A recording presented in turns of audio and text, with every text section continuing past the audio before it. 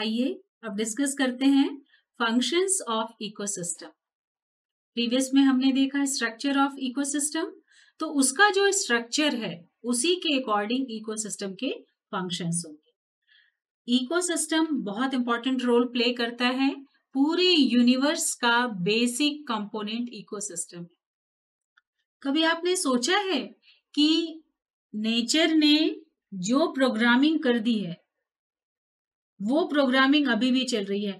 Desert में जैसा environment है, वैसा पुराने समय से है, अभी भी है और वहाँ के जो एनिमल हैं, उसी के अकॉर्डिंग हो गए अगर हम सी में जाए ओशन में देखें तो ओशन में जितने क्रस्टेशियन हैं फिशेज हैं, कभी आपने सोचा है कि जो सीप या घोंगे जिसको स्नेल कहते हैं, उनकी आउटर कवरिंग कैल्शियम कार्बोनेट की हार्ड क्यों होती है इतनी ज़्यादा? जबकि जो फ्रेश वाटर एनिमल्स रहते हैं फ्रेश वाटर एक्वेटिक एनिमल्स रहते हैं, उनका जो कवरिंग है वो तो हार्ड होता ही नहीं है। या, यहाँ के जो स्नेल्स हैं, वो बहुत बड़े नहीं होते हैं, लेकिन समुद्र में जो शंख मिलता है, वो बहुत ही बड़ा और बहुत हार्ड होता है उसका आउटर स्किन जबकि उसके अंदर एक बहुत ही सॉफ्ट एनिमल रहता है। तो ऐसा कैसे, ये सब कौन बताता है, कैसे करता है? तो ये मेन फ़ंक्शन है इकोसिस्टम का, जो हर जगह न होते हुए भी पूरा बैलेंस करता है। अब देखिए कि इकोसिस्टम का बेसिक फ़ंक्शंस क्या है। वैसे तो इकोसिस्टम के बहुत सारे फ़ंक्शन हैं, लेकिन वो सब आपस में इंटर रिलेटेड हैं तो हम सिर्फ़ बेसिक फ़ंक्शंस को यहाँ पे देखेंगे। फ़र्स्ट फ़ंक्शन है it regulates the essential ecological process ecosystem जो है, वो जितने इकोलॉजिकल प्रोसेस होते हैं, उन सबको रेगुलेट करने का काम करता है। डेजर्ट में सैंड है, वहाँ गर्म हवा चलेगी, तभी वहाँ कैक्टस वाले पौधे पाए जाएँगे थॉर्नी रहेंगे। आपने कभी वेजिटेशन ध्यान दिया है? जब आप डेजर्ट एरिया में घूमने जाते हैं, राजस्थान वगैरह साइड जाते हैं तो वहाँ के जितने भी प्लांट्स हैं, वो सब थॉर्नी होते हैं। मतलब उसमें छोटे छोटे कांटे के समान रचनाएँ होती है। और जब हम इधर प्लेटो एरिया में आते हैं तो यहाँ के जो प्लांट्स रहते हैं, उनके लीफ बहुत चौड़े होते हैं। तो थॉर्नी इसलिए होते हैं क्योंकि उनमें पानी की, पानी को अपने अंदर रोकना रहता है। वो बहुत सेक्यूलेंट्स भी होते हैं, जैसे cactus well known example is cactus cactus बहुत फ्लैशी रहता है। उसका जो स्टेम है वो एक फ्लैश में कन्वर्ट हो जाता है और ग्रीन कलर का हो जाता है।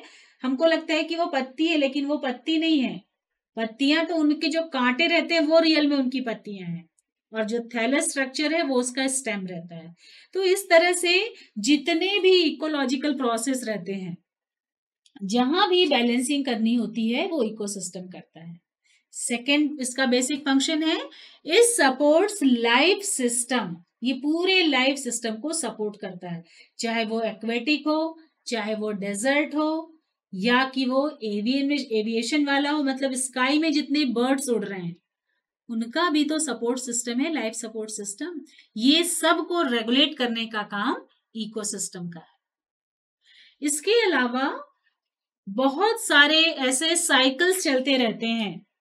बायोटिक और एबायोटिक कंपोनेंट्स के बीच में वेल नोन एग्ज़ाम्पल है वाटर साइकिल भाई, पानी जो है, हम कैसे जानते हैं पानी कैसे आता है? एक ले मैन अगर सोचे कि ज़मीन में पानी कैसे आता है तो हम बोलेंगे कि बारिश होती है तो पानी आता है। बारिश होने से पानी आया, हम उसको यूज़ किए, वो बह करके नदी नालों में गया, वहाँ से होता हुआ वो ओशन में गया।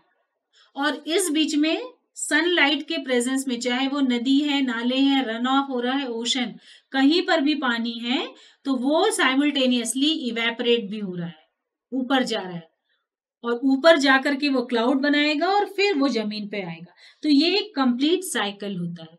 इस तरह से ऐसे बहुत सारे साइकिल एनवायरमेंट में चलते रहते हैं।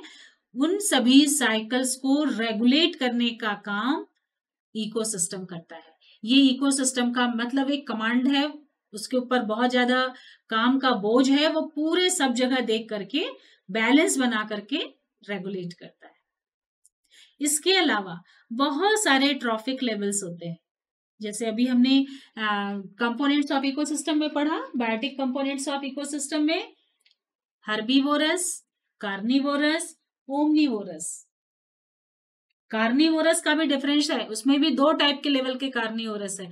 कार्निवोरस लेवल वन या प्राइमरी कार्निवोरस और सेकेंडरी कार्निवोरस तो ऐसे बहुत सारे ट्रॉफिक लेवल हैं।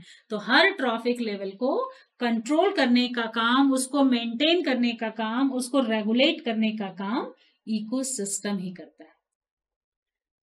एनर्जी फ्लो ये भी बहुत ही इंपॉर्टेंट फ़ंक्शन है इकोसिस्टम का। हमको मालूम है कि सन से एनर्जी आ रही है। सन से एनर्जी आई ग्रीन प्लांट्स में। ग्रीन प्लांट से जो हर्बीवोरस एनिमल है, वो लिए। हर्बीवोरस के बाद कार्निवोरस लिए और कार्निवोरस से होते हुए वो डेट्रिटस में चली गई। मतलब जब उनकी डेथ हुई तो वो नीचे चली गई एनर्जी तो ये सब फ़ंक्शन इकोसिस्टम से ही रेगुलेट होते हैं। इसके अलावा अगर नेचर में देखा जाए तो एक सीक्वेंस है फ़ूड का। जो फ़ूड की केमिकल एनर्जी है, वो एक जगह से दूसरे जगह, दूसरे से तीसरे जगह इस तरह से अलग अलग ट्रॉफिक लेवल पे जाती है। जैसे कि शेर, बोलते हैं ना, शेर कभी घास नहीं खाता। तो भाई, शेर घास नहीं खाता है, लेकिन शेर के पास ऐसी ताकत भी नहीं है कि वो सोलर एनर्जी को एब्जॉर्ब करके फ़ूड बना सके। और जो घास है, उसको खाना नहीं है तो उसके में एनर्जी कहाँ से आएगी? उसके में एनर्जी आएगी जो घास खाने वाले एनिमल है उससे। तो इस तरह से फ़ूड का कंप्लीट चेन बनते जाता है और इस चेन को भी रेगुलेट करने का काम इकोसिस्टम का ही है। इसके अलावा बहुत सारे इकोलॉजिकल पिरामिड्स होते हैं। इकोलॉजिकल पिरामिड्स अभी हम आगे के लेक्चर्स में कंटिन्यू करेंगे। Food chain food web ecological pyramids ecosystem energy flow ये सब ऐसे बड़े बड़े फ़ंक्शंस हैं जो रेगुलेट होते हैं। इकोसिस्टम के द्वारा। अब एक अंडरस्टैंडिंग आपको यहाँ पर बताना चाहती हूँ कि इकोसिस्टम और इकोलॉजी ये दो वर्ड में डिफरेंस क्या है। हम बार बार इकोसिस्टम इकोसिस्टम बोल रहे हैं, लेकिन आप जब पढ़ेंगे तो बहुत बार इकोलॉजी भी आएगा। तो इकोलॉजी और इकोसिस्टम में क्या डिफरेंस है, क्या सिमिलैरिटी है? तो अगर हम इकोलॉजी बोले तो सबसे सरल शब्दों में अगर बोले तो लॉजी का मतलब होता है स्टडी जैसे जूलॉजी हो गया सोशोलॉजी हो गया साइकोलॉजी हो गया एंथ्रोपोलॉजी हो गया. मतलब उस चीज़ की स्टडी करना.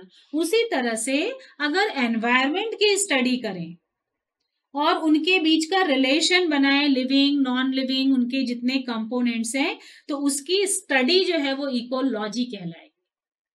और जहाँ ये सब रहते हैं living non living biotic abiotic component जहाँ रहते हैं वो प्लेस वो जगह, वो स्थान, ये कहलाएगा इकोसिस्टम तो कभी इकोलॉजी और इकोसिस्टम में डिफरेंस मतलब कंफ्यूज मत होइएगा। इकोसिस्टम का मतलब होता है जगह, और उस जगह की स्टडी कहलाती है इकोलॉजी तो इस तरह से इकोसिस्टम के फ़ंक्शंस बहुत इंपॉर्टेंट हैं, जिनके बिना हमारा जीवन संभव ही नहीं है।